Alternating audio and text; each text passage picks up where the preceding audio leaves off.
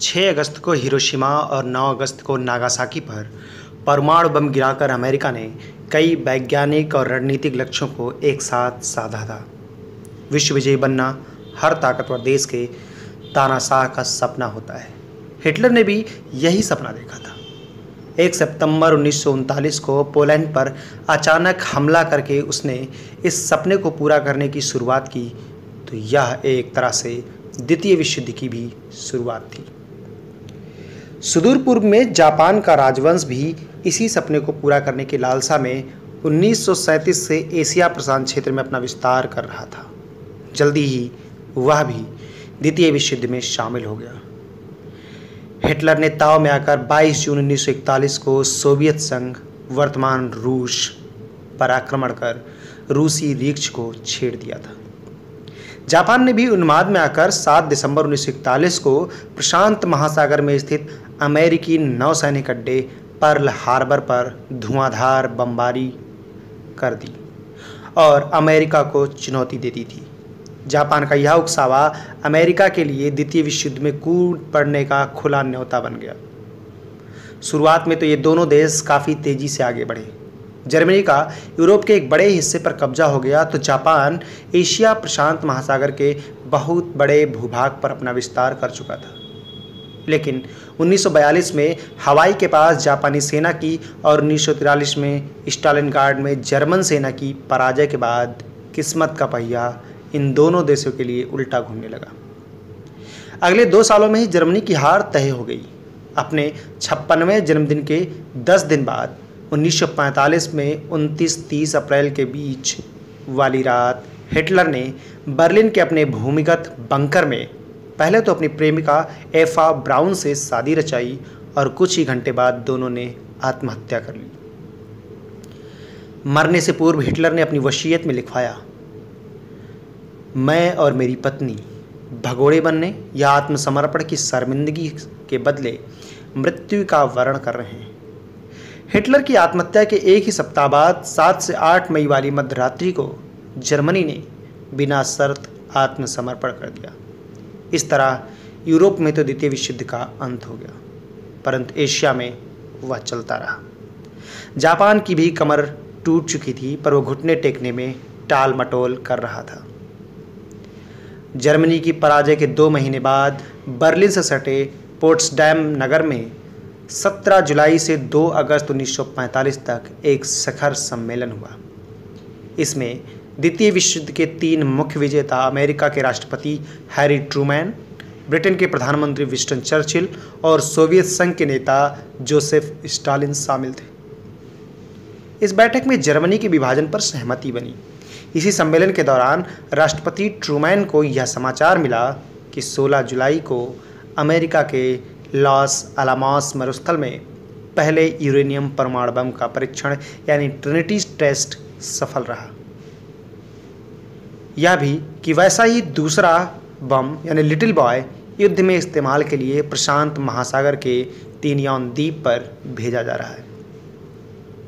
उसी दिन चर्चिल को भी यह बात पता चल गई।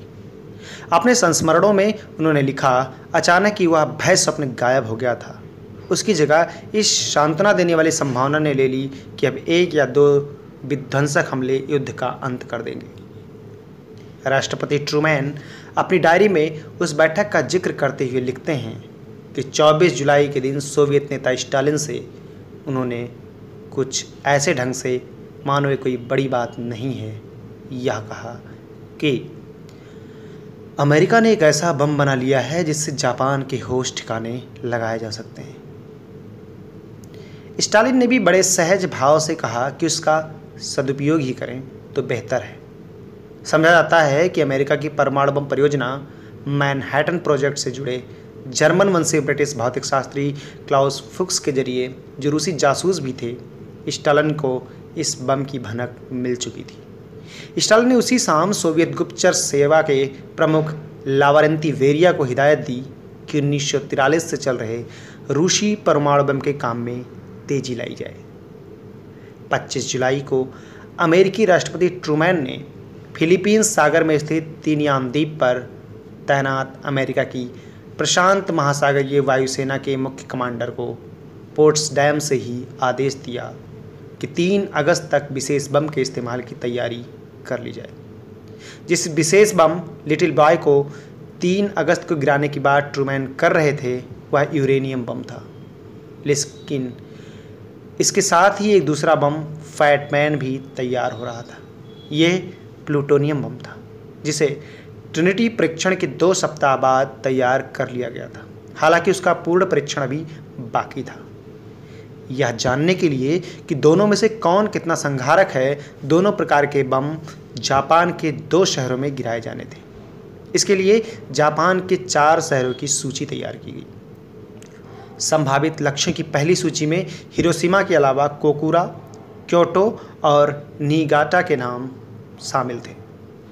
नागासाकी अमेरिका के निशाने पर नहीं था, लेकिन अमेरिका के तत्कालीन युद्ध मंत्री स्टिम्सन के कहने पर जापान की पुरानी राजधानी क्योटो का नाम संभावित शहरों की सूची से हटाकर उसकी जगह नागासाकी का नाम शामिल कर लिया गया। स्टिम्सन ने अपनी पत्नी के साथ क्योटो में कभी हनीमून मनाया था और वो नहीं चाहते थे कि वह मटिया मेट हो जाए। वहीं दूसरी तरफ़ अमेरिका के जनरल ड्वाइट आइजनहाइवर जैसे सैनिक अफसर और लियो जिलार्ड जैसे भौतिक शास्त्री इस बम के प्रयोग के विरुद्ध थे। उनका कहना था कि इससे सोवियत संघ के साथ परमाणु हथियारों की घातक होड़ चल पड़ेगी उनका यह भी मानना था कि यूरोप में जर्मनी की पराजय के बाद से जापान इतना कमज़ोर हो गया है कि देर सबेर वो अपने आप घुटने टेकने ही वाला है। लेकिन राष्ट्रपति ट्रूमैन और उनके सलाहकार जापान पर परमाणु बम गिराने के अपने इरादे पर अटल रहे। उनका कहना था कि दो अरब डॉलर का प्रयोग कर इन बमों का विकास क्या इसलिए किया गया है कि उनका कभी इस्तेमाल ही ना हो? तर्क दिया गया कि इन बमों की मार से जापान जल्द ही आत्मसमर्पण कर देगा और अमेरिकी सैनिकों का कटना मरना बंद हो जाएगा। अमेरिका के लिए अपने सैनिकों की यह अतिरिक्त चिंता जापानी सैनिकों की उस चिवटता से भी निकली थी जिसके बूते उन्होंने जुलाई 1945 में ओकिनावा की लड़ाई में 12,500 अमेरिकी सैनिकों का सफाया कर दिया था। तब तक पूरे प्रशांत महासागरीय क्षेत्र में करीब सत्तर हज़ार अमेरिकी सैनिक मारे जा चुके थे। एक सच्चाई यह भी है 1945 का जुलाई महीना आने तक जापान शांति वार्ता के रास्ते तलाशने लगा था। पोर्ट्सडाम शिखर सम्मेलन से एक सप्ताह पहले 9 जुलाई को मास्को में जापानी राजदूत ने सोवियत विदेश मंत्री व्याचेस्लाव मोलोतो से मिलकर अनुरोध किया कि पोर्ट्सडैम शिखर सम्मेलन के नेताओं से कहा जाए कि जापान उनके साथ शांति वार्ताएँ चाहता है। लेकिन संसार की परमाणु शक्ति बन चुके अमेरिका के राष्ट्रपति की दिलचस्पी किसी शांति वार्ता में नहीं, जापान के बिना आत्मसमर्पण में नहीं थी। 25 जुलाई 1945 के विशेष बम के इस्तेमाल की तैयारी शुरू करने के आदेश के अगले दिन, यानी 26 जुलाई को, राष्ट्रपति ट्रूमैन ने पोर्ट्स डैम में अमेरिका, ब्रिटेन और चांग काइसे के राष्ट्रवादी चीन गणराज्य की ओर से एक संयुक्त घोषणा पत्र पढ़कर सुनाई। इसमें जापान से अविलंब बिना शर्त आत्मसमर्पण कर देने की मांग की गई थी। इसके लिए सोवियत संघ से कोई मशविरा नहीं किया गया। जबकि सोवियत संघ के विदेश मंत्री मोलोतो ने अनुरोध किया था कि इस घोषणा को कुछ दिनों के लिए टाल दिया जाए, ताकि उनकी सरकार जापान के साथ अपनी अनाक्रमण संधि का अंत घोषित कर सके। उन्नीस सौ उनतालीस के सोवियत जापानी सीमा संघर्ष के बाद 13 अप्रैल 1941 को दोनों देशों ने अगले पाँच वर्षों तक एक दूसरे पर आक्रमण नहीं करने की संधि की थी। लेकिन दो महीने बाद ही जब सोवियत संघ जर्मन आक्रमण का शिकार बना तो उसने हिटलर विरोधी मित्र राष्ट्रों के गुट में शामिल होना पड़ा। इस दौरान उसने मित्र राष्ट्रों को यह आश्वासन दिया कि ज़रूरत पड़ने पर वह सदूर पूर्व में जर्मनी के साथ ही जापान के विरुद्ध मोर्चा खोलने से नहीं हिचकेगा। यह दुविधा जापान के साथ भी थी। कि वह एक ऐसे देश के साथ अनाक्रमण संधि कैसे निभाए, जो उसके परम मित्र जर्मनी के साथ युद्ध में है। फिर भी दोनों देश 1945 तक समय निकालते रहे। अमेरिका और ब्रिटेन आग्रह कर रहे थे कि सुदूर पूर्व में उनका बोझ हल्का करने के लिए सोवियत संघ जापान के विरुद्ध मोर्चा खोले। सोवियत संघ ने अंततः 5 अप्रैल 1945 को जापान के साथ अनाक्रमण संधि से अपना हाथ खींच लिया।